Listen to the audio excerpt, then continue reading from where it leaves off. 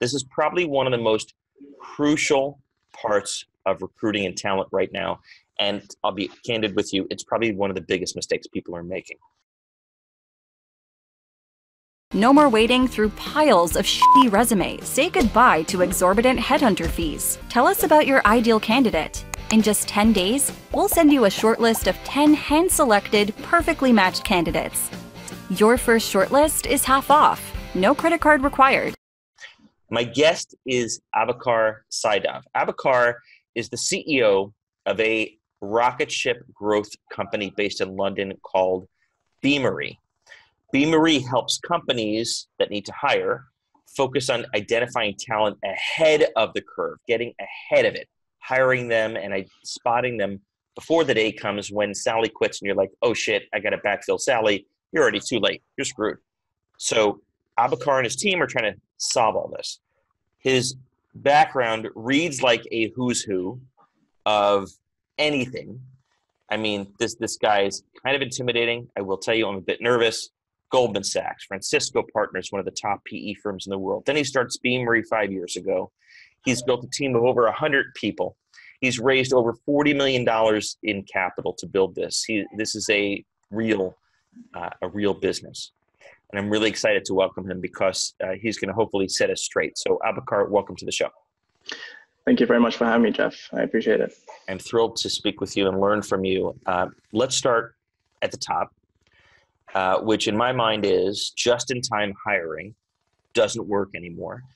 Uh, first question Do you agree or disagree? And, and maybe just give 60 seconds to the audience on what that even means to you. What is just in time hiring and why does it no longer work? So uh, I totally agree with you, and I think the whether it works or doesn't, uh, context is important. So I think uh, in in this case, uh, for the last two or three decades, organizations have hired in the way of I have a job, here it is, let me go and find some people, and uh, until you know when it was a an employer's market that worked, and uh, now it's increasingly become competitive in a candidates market. So, for example, if you're um, hiring high volume where you are the only big dog in the show and everyone wants to work for you, sure, it could work. Whereas if you're hiring for high skill, high demand um, individuals who have lots of other options, then how are you different to everyone else? Uh, that's part one. And part two is uh, your goal is to be able to um, have some kind of predictability and uh, strategy around how you fill those roles. So what we've been seeing is organizations are starting to move from this reactive model of post jobs and pray people apply to a much more uh, proactive and strategic model of we need to be in control of our own destiny. And so, th- so this is essentially what you're saying. It sounds like is it's CRM, right? It's just like you have customer relationship management, a funnel, a process to engage with prospects to turn them into customers to turn them into loyal customers.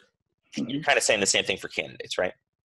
Yes well i mean the aha moment we had when we when we started our company was online you're not a candidate or a customer you're just someone browsing the web. So surely the same kind of kind of customer lifecycle management so you have your leads you have your uh, visitors you have people that become um, prospects and prospects become opportunities and all of that stuff why does that not why couldn't that work in recruiting? And the answer is of course it can. Like a, a person doesn't care if, uh, how you how you think of them as an organization. What they care about is that they're getting value and they're building a relationship and they're engaging with your business. And so the way you build your customer brand can be the same way as you build your employer brand. And in so you, you're right. It, it is candidate relationship management. It is marketing automation, uh, and it's ultimately treating candidates like consumers. So if you are Amazon, Goldman, a handful of other companies, Google, mm-hmm. where you've got people lined up outside the door, like the mm-hmm. best in the class, the best in class lined up outside the door this probably isn't your biggest priority and your biggest problem, right? Then, then your issue is how do you filter through all these people? Well, I, would actually disagree. So, uh, you know, we're we're very lucky to call some of those companies that you named, uh, or, or, companies like them as customers. And the the problem isn't just do I have good people coming to me. The problem then becomes uh, not just filtering them, but how do I make sure that they are actually uh, looking at the right time for the right opportunities. Mm-hmm. So, for example, if you are, uh, you know, one of the biggest recruiters in the world, you might have 3,000, 4,000 uh, talent acquisition professionals. Now, if you think about what your, if we go to kind of 50,000 feet, what are your organizational priorities? So you kind of have four stakeholders. You have your candidates, you have your recruiters, you have your employees, and you have your executives. So if you're trying to say, we're investing in business transformation. You're trying to create a better candidate experience, more efficient and productive recruiters, engaged employees for part of the cycle, and then the executives want forecasting and planning, right? And so the ability to have something that's kind of serves all those purposes. And so, uh, as a very large organization, uh, your talent acquisition um, department becomes quite sophisticated. So, for example, you have sourcing, which is like sales development. You have employer branding, which is like marketing. You have yeah. recruitment operations and executive search and internal mobility and referrals. And uh, all of those things are not resume processing. Those are actually now acquiring talent. And so you need something that is A, unifying the data, be unifying the experience the candidate is seeing and being able to then use all of that to drive uh, insights and predictability going forward. So here's where I'm stuck. Everything you're saying makes sense. My mm-hmm. company's 20 people, 50 mm-hmm. people, maybe 100 people. We're hiring, you know, some number of people, a dozen. Mm-hmm. How can I possibly make this a priority, build this infrastructure, hire a team of people to do all these things ahead of mm-hmm. the curve? I understand that once I get to scale and I'm hiring hundreds or thousands, sure. it makes sense, right? But in this adolescent phase, other than buying your product, which I'm sure is wonderful, and we'll plug it at the end. Sure. What? How, I still need to have people operating your software. I still need to have people meeting with candidates ahead of time. Totally. Um, yeah, so actually, the, the, you hit the nail on the head. Um, technology comes last. The first thing that happens is is uh, the right people and the right processes. And so the the biggest thing uh, to move from that reactive to proactive model is to start um, focusing on the acquisition side rather than the resume processing side. So, for example, having someone whose role it is to go out and build relationships with candidates uh, ahead of time. And so the uh, like what is like you're, you're not if you, if you liken this to the customer model again, you're not sitting there waiting for people to buy things. Right. You're you're starting to say our job is to go out there and build pipeline. And so it's not about just having the product that enables you to uh, right? It's to say, um, I now have a um, say a sourcer, or the the job of the recruiter has changed. So if you so my first, uh, if you're a 20 person company, my first recommendation is um, build a talent acquisition team earlier than you think because it's not at 50 or 100 people that you do need to do that. It, it's at 20 people. So let's talk so let's get let's get real. Let's get very practical abakar. Let's say we have 20 employees. Mm-hmm. you're saying build a team. What, what, does that team look like? How many people? How much is it going to cost me? And how does that scale when i get to 50 people or 100 people? Mm-hmm. how many people are we talking about? Well, it depends really on your growth trajectory. So if you're 20 people and you're growing by five people, um, and you're doing you know one hire every three months, uh, it's it's less about building a team. It's about probably making it more of a responsibility of every individual. So mm-hmm. um, I spend probably fifty percent of my time on recruiting, and I think fifty percent, five zero. Yes, and you're adding. Let's just do the maths. You're at hundred. How many people? One hundred twenty-five people or something now. Yes, that's right. So, so we're, we're adding, adding about. How many this year will you hire? Probably about hundred. So you're going to hire hundred, and you spend half your time on it as CEO. Correct. Yes, and I and my expectation is that every one of my senior managers spends half their time on it because oh. it is so important, right? Like people are everything, and yep. obviously uh, it's it's kind of a platitude, but uh, if people are everything, then you should be spending a, an appropriate amount of time on it. So that's the first step. If you're if you're 20 people, then uh, every it should be everyone's job to do that, and then you're starting to create that as part of the culture. So I think that's the biggest element is holding your uh, people accountable to. If if we need to grow, it is ultimately the hiring manager's uh, responsibility to ensure that growth happens. So even more important than the CRM strategy and engaging with candidates ahead of time is mm-hmm. just the commitment to spend the time on this, right? Correct, and and the commitment to make this something that you discuss in your uh, staff meetings. So uh, recruiting performance metrics need to become something that is as important as your financial metrics. Because if you're planning to grow, then it needs to be front and center.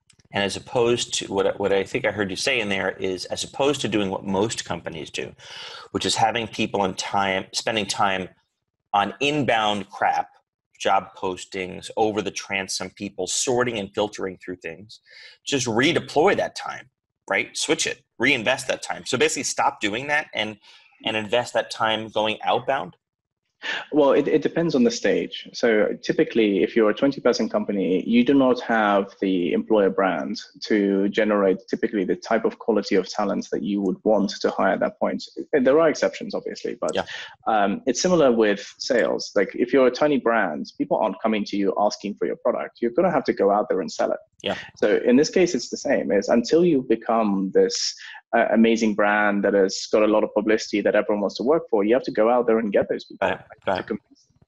So let's talk about what that actually looks like. What are the few things that we need to do? I'm sure your software helps with it, but just conceptually, mm-hmm. when am I going out? To whom am I going out? What does even going out look like? Does that mean I'm going to networking events on Thursday nights at, at bars to meet candidates, or uh, where is the 80 20 that you've learned over the five years of doing this?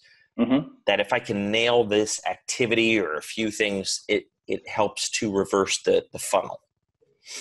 Sure. So I'll give you some examples of what me and my co-founders used to do in, in our early days. Um, we, the first part is uh, obviously running a company, especially if you're um, uh, a, first-time founder or CEO, it's uh, you have a lot of things on your mind, and so saying, "Oh my God, I have to spend 50% of my time on recruiting," um, what does it even mean? A lot of that time is eaten up by interviewing and all those things. So what we found really helps is time boxing things around sourcing. So uh, my co-founders and I would say we'd spend a couple of hours, uh, beginning of week, end of week, on looking at you know angel list linkedin github etc and finding profiles of people that we found uh, were relevant and actually messaging them ourselves because it is a lot more powerful uh, to receive a message from you know the CEO of a company than it is uh, or a VP engineering or something else than it is from um, a recruiter because people think that you care and the, the company cares. And um, these are one-on-one outreaches. Correct, one-on-one outreaches because um, the the worst thing you can do to your brand is to scattershot. I found is that you know sending a thousand outreaches yeah. that are impersonalized. What does that outreach sound like? I, am proactively reaching out to someone. I have no idea if they're looking for a job. I have no idea if they're happy in their job. They don't know who mm-hmm. I am. They don't know who my company is. Mm-hmm. What is the gist of that outreach that you found will get them to say, "Huh, yeah, I'll have a conversation." So it has to. The ingredients are actually quite simple. The ingredients are that you have spent a, literally a modicum of time understanding who this person is and what they what they care about. So being able to not just have a generic, "Hey, engineer X or salesperson X, uh, please, are you interested in this job?" It's being able to have a single sentence that says, "Hey, I noticed you do this." Or I noticed you're interested in this. So, for example, in our early days hiring software engineers, we would say, um, "Hey, I saw you contributed to this GitHub repository. That's really interesting and linking that to what you're doing and saying, I think you'll find what we're doing interesting for the following reasons. Yeah. Would love to have a chat. Literally, that two line message has had the best conversion of anything we've ever done. Got it. But this is t- now I see why you're spending half your time on this. You're customizing messages based on individual profiles to a shitload of people. Well, the thing is, you don't need that much volume if you do it this way. So, would you rather spend uh, non-custom messages to 100 or custom messages to 20? And so the uh, question becomes, um, you know, do you want to be the uh, airstrike or the sniper model? And what, what we found is that um, it's kind of the kind of company you want to be. And for us, uh, we wanted to be known for uh, being personalized, being targeted, uh, going after very specific people that we thought would be great. And I think, um, it, especially if you're hiring for high skill, people want to see that you care. So we talked about earlier that candidates want to see value before uh, being asked for something. Uh, you know, it's a principle. And, and, and, give us an example when you say value. They want to see value. Please tell me you're not talking about content with a free PDF or something. no, I'm. I want. I'm talking about the fact that uh, you are showing them that you understand them, and the fact that you're not reaching out to them as a transaction. You know that you are uh, actually someone that is interested in what they're interested in. And I think the other thing is uh, sh- having just a, a, small amount of sophistication around um, what for different roles what people care about so for example with um, the technical side of the business with software engineers they really uh, they like learning and so what the reach out should contain is uh, this is why what we're working on is interesting and what you could learn. Um, in the commercial side of the organization, it's often uh, the, it's learning but in a different way. It's the kind of customers you get to work with. Yeah. It's the kind of uh, things that you get to do that you didn't get to do before. And, and so potential. You're going to make a shitload of money. Correct as well. Um, but they, they want some validation in that because you have to remember that the really, really in demand people obviously have a, a lot of this happening. And so um, what's really satisfying is being able to have someone say, I get 100 of these messages a day. You're the only one I respond yeah. to. Yeah, yeah. So what if this is fascinating? What have you learned about the, the, the, cycle time. So when you talk about CRM, you have a sales cycle, right? From the mm-hmm. time mm-hmm. of that first outreach to the time you sign the $500,000 contract with that customer. Mm-hmm. What have you learned about statistically, which I'm sure you track because you sound pretty metrics obsessed, um, the, kind of that first outreach from you at home on your couch, looking at GitHub profiles and sending messages to the time that person joins the company? I know it's a large distribution, I know it's a bell curve, but how early do I need to dig my well before I'm thirsty? So let me answer um, slightly from reverse. If you think about the candidate lifecycle, um, and you talk to most companies and most jobs, uh, the proverbial time to hire from the moment a job opens up to the moment you fill it is usually around 60 to 90 days, depending mm-hmm. on the complexity. Mm-hmm. And so if you think about how much of that is the interview process, it's about two weeks. Mm-hmm. And so you're saying out of a 90 day time to hire, what are the other 76 days? And the other 76 days are the time to find and time to engage. Right. And so the point is, if you were able to turn that 76 days into 20, 15, because you've already engaged that person, because you've already um, interacted with them and they're already interested. Uh, and then it becomes, sure, I'll come interview with you. Uh, the, the productivity gain and the value of that is huge. Uh, as an example, I think there's a general industry principle that is someone's value to the business is about three to four x their annual salary, and so um, you know, shaving that off can be you know, tens of thousands of dollars per person uh, per role that you fill. Mm-hmm. As to come back to the original question, um, how much time in advance? Uh, it it depends on um, the amount of and volume of roles that you have. So right. the lead cycle can be uh, typically from a couple of months to six months. What we found is, you know, let's say you're doing some campus recruiting, um, you you should be building relationships with people a year or two before they graduate, because right. by the time that they're graduating, they already have been being bombarded with a whole right. bunch of. You need to think about how far do I need to go upstream mm-hmm. relative to how far upstream other companies are going and my competitors. Exactly and also based on how scarce that role is mm-hmm. and, how, and, to your point how many i hire right so if i'm if most of my hiring is software developers or most of my hiring is sales reps mm-hmm. that's where i should focus my time right Exactly, and there's there's a cyclicality to it. So, for example, sales reps is a really good example. Uh, typically, sales reps um, wait till the end of quarter till they get paid their commission till they leave, sure. and so and so you you want to be starting one or two quarters in advance to try and understand are they going to have a good year? Are they happy where they're where they're at and being able to anticipate that um, if the quarter end is in march you're not going to hire them in march. They're going to wait till april to see right. what happens right. and there is a natural cycle time to it. Mm, exactly. I have to imagine our listeners are still a little skeptical about their ability to invest this kind of time. Uh, it's kind of hard to argue with the logic of it right?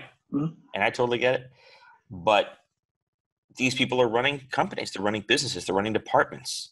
And you're saying spend half your time on this, spend your weekends and evenings emailing strangers from LinkedIn and GitHub, mm-hmm. and take a shitload of, I'm sure, informational interviews or very, you know, very low probability kind of meetings. Uh, mm-hmm. Uh, how do you convince someone that's skeptical that the they got to take a leap of faith, right? That this is going to pay off.